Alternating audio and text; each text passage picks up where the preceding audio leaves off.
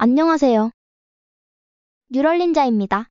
이번 영상은 애니메이트 디프로 긴 영상을 생성하는 방법을 알려드릴게요.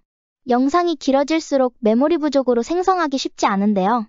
긴 영상을 잘게 잘라서 순차적으로 생성하는 방법을 알아보고 생성된 영상들을 부드럽게 하나로 합치는 방법을 알려드릴게요.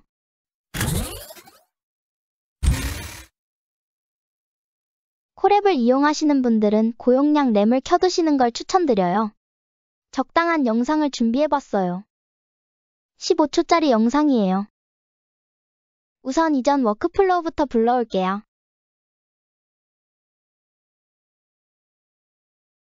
detailer 관련 노드들은 삭제할게요.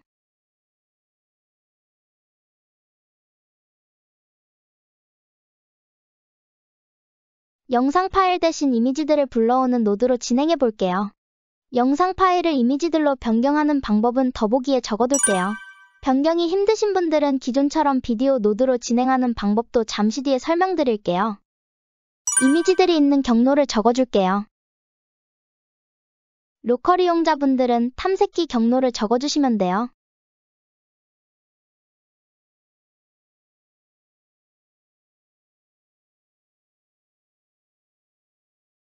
image resize 대신 사용할 constrain image 노드를 추가할게요. 가로, 세로 비율 상관없이 최대 사이즈를 지정할 수 있어서 편한 것 같더라고요. 1280 사이즈로 설정할게요.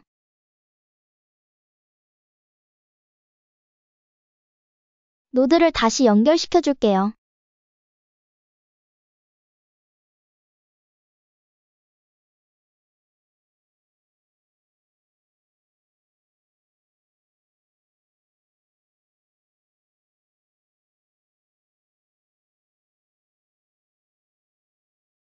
현재 변환한 이미지들은 450장 정도 되는데요. 이걸 100장씩 나눠서 생성해 볼게요. 총 5번 생성하면 되겠네요. 100장씩 생성하는 방법은 frame load cap에 100을 적어주고 skip first frames의 순서대로 0, 100, 200, 300, 400 이렇게 적으면 돼요. frame load cap은 100장 플러스 5장에서 105를 입력할게요. 5장을 추가로 여유를 둬서 부드럽게 연결해 볼게요.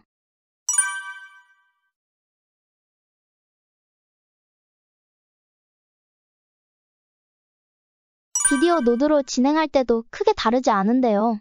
이미지 총 개수를 파악하기 위해 이렇게 진행되지 않게 다음 노드를 mute시켜주고 frame load cap을 0으로 설정하고 원하시는 FPS를 설정한 뒤에 실행해주세요. 출력된 총 프레임 수를 잘 적어두시고 이후에는 frame load cap과 skip을 이용해서 똑같이 진행하시면 돼요.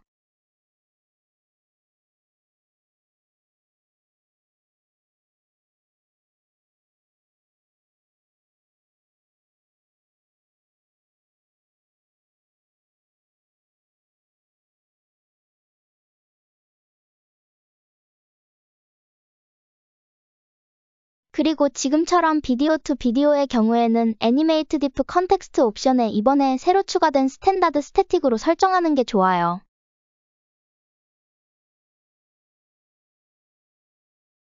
이제 첫 클립을 생성해 볼게요.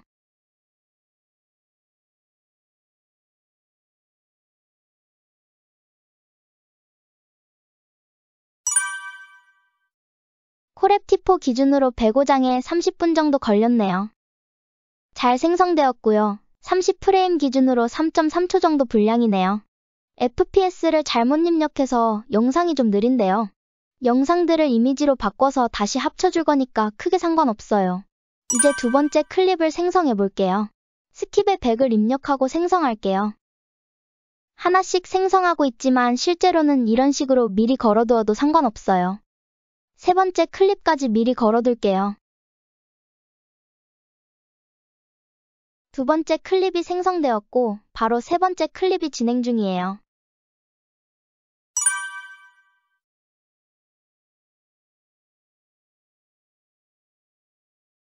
세 번째 클립까지 생성이 되었네요. 1280 사이즈 기준으로 100장은 30분씩 걸리는 것 같네요. 나머지 네 번째, 다섯 번째도 이렇게 100씩 늘려서 생성하면 돼요. 일단은 3개의 영상으로 영상 합치기를 진행해 볼게요. 이후 작업은 영상이 3개든 10개든 상관없어요. 생성된 영상을 한 폴더에 모아주세요. 더보기에 있는 파이썬 스크립트를 복사해주세요. 파이썬 설치와 FFmpeg 설치 방법은 더보기에 적어둘게요. 이제 이 파이썬 스크립트를 실행해줄게요. 탐색기 창에서 cmd를 입력해주세요. extract 파이썬부터 실행해주세요.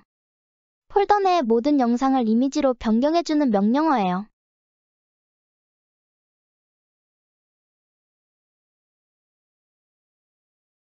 확인해보면 이렇게 폴더 내에 105장의 이미지들이 생성되었어요.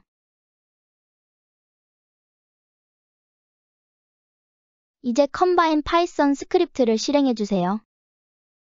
이미지들을 합치고 영상으로 변환해주는 스크립트예요.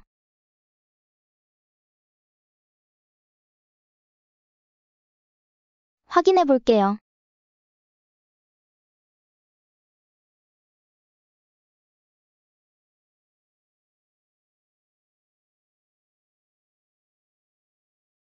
잘 합쳐졌네요.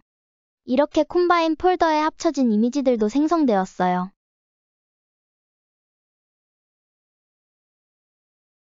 사운드를 넣어볼게요. 원본 영상을 사운드.mp4로 복사했어요. 콤바인 파일을 열어보면 이렇게 현재는 100장, 30fps로 설정되어 있어요. 이건 생성한 기준에 맞게 변경하시면 돼요. 사운드 파일명도 이렇게 변경할 수 있어요.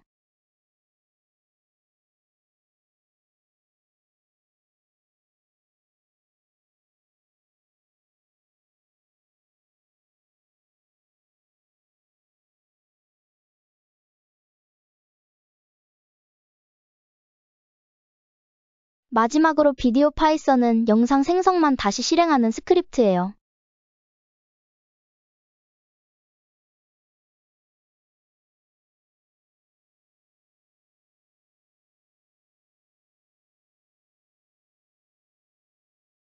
이상으로 애니메이트 디프로 긴 영상 변환하는 방법을 알아보았는데요. 여기서는 HD 사이즈의 100장으로 맞췄지만 본인 환경에 맞는 길이와 사이즈로 만드시면 더 효율적으로 생성하실 수 있으실 거예요. 영상이 도움이 되셨으면 좋겠네요. 다음에도 좋은 영상으로 찾아뵐게요. 감사합니다.